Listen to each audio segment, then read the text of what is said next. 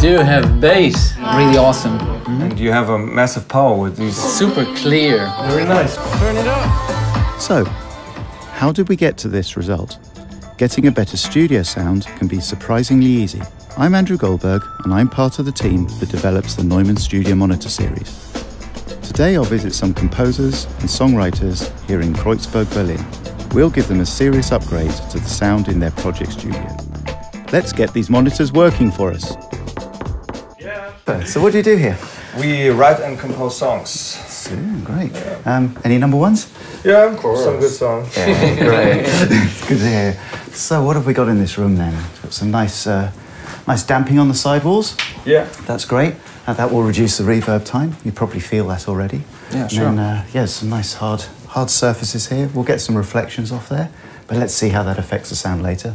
What a lovely ceiling! Look at that. Yeah. Nice brick ceiling. uh, Room with lots of character. It's fantastic. effect. Yeah. So let's take a look then.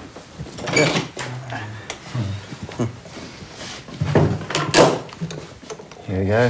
Ready? Da, da, ta-da. There you go. Quite small. Yeah, it's very small. But you have a good size room here, but it's more about the listening distance. Some presets, right? Yeah, there are some switches, and they're the acoustical controls. And if you Hmm. place a loudspeaker near a mixing desk, then you get a boost in the bass, and it sounds a bit boomy, and that's Ah, not very nice for your mix or your listening experience. So.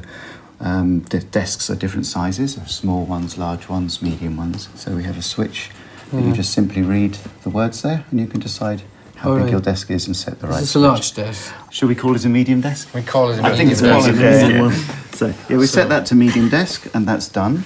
And then you put that one over there on the left, Here too. and Oh, they're already there. yeah, they're already involved, so that's nice. User manuals take ages to write, and they're worth reading if, they, if they've got good content in. So we have a user manual on the website, which you can download. And right at the back of the user manual is an angles chart here. And what we do is we position that in the center of the desk, and then we can just hold it in position there. And then, do we have a cable? You can hold that there above the To the center. above the centre there. That's right. And then you put it on the What angle front of the cabinet. And then we're looking for 30 degrees along here, which it is. That was a good good starting place. And then we have a distance. And now we go to the other speaker, uh, and we can Yeah. see that yes, the, that needs to come in a little bit. Yeah.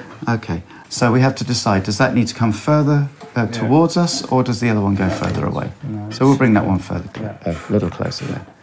That's great. Good. And so then, hmm. and that's good. So just, double check that we've got the same distance on this side. That's great. Uh-huh. And then just one last check is if I hold that, if you go over to the right speaker, and then uh-huh. I pass it to you, you put that in the middle of the, the front of the cabinet there, and then you go to there, and that's the same distance. Okay, yeah. So now we have an equilateral triangle. So now we can look at the left and right. So that looks like it's pointing at the middle of the listening position. So the same listening distance, they're pointing vertically the same way, and horizontally, they're pointing at the listening position as well. Mm-hmm. So now that's it, they're set up properly.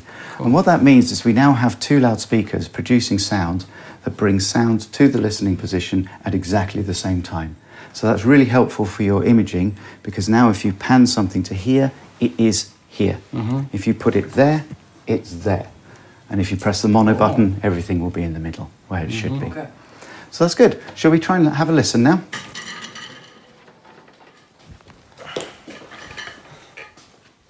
Pretty smart guy.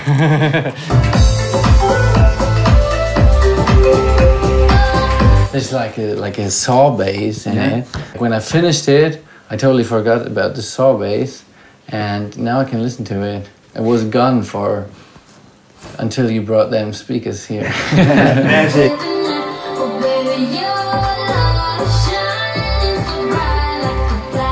I really like the highs. It's it's they're really crispy, but but not like in an annoying way or something. they do have bass. Yeah.